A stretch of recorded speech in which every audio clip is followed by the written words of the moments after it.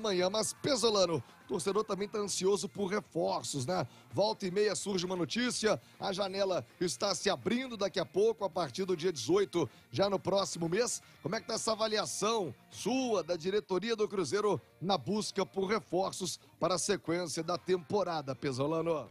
Sí, sin duda. A ver, você como treinador, mismo como equipo y todo, siempre que venga gente que venga a sumar eh, dentro de modelo, dentro de, de, todo lo que nós queremos, bem-vindo. Eh, sabemos que vão vir alguns jogadores, se está vendo bem, não podemos cerrar, ¿sí?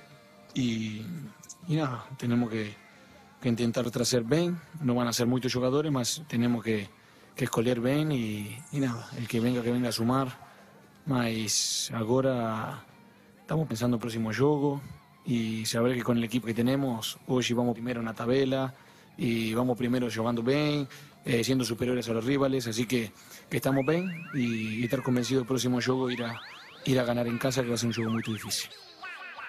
É amanhã, próximo jogo difícil, Pesolano falando a respeito de reforços. O Léo Figueiredo, a informação é de que não vai ser barca, não, aquela passeada de contratações, não.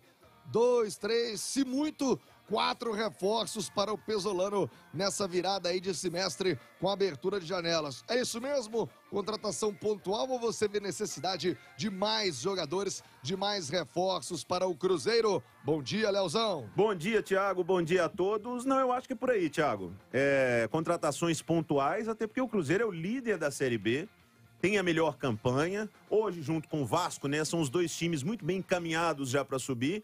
Não acho que o Cruzeiro precise contratar muitos jogadores, mas se o Cruzeiro conseguir qualificar com dois, três jogadores que possam realmente dar opção de titularidade para o Pesolano, caras para chegar, entrar no time, jogar, você qualifica muito bem. O Cruzeiro tem um elenco que se tornou bom. A verdade é essa. Quando o Cruzeiro montou esse time no início do ano, um time para jogar a Série B. Só que como o trabalho tem sido bem feito, o coletivo tem sido muito bem feito, as individualidades vão aparecendo. Então, o elenco do Cruzeiro está mais valorizado do que quando começou a Série B. Imagino que no planejamento do Ronaldo, de todo o staff, do Paulo Pesolano, quando começou a Série B, e a gente falava isso aqui, olha, o Cruzeiro tem que estar tá ali no grupo dos quatro, tem que estar tá ali, ali em cima para quando abrir de novo a janela, o Ronaldo contratar uns caras e dar aquela arrancada. Aconteceu melhor do que isso. O Cruzeiro já deu a arrancada desde o início.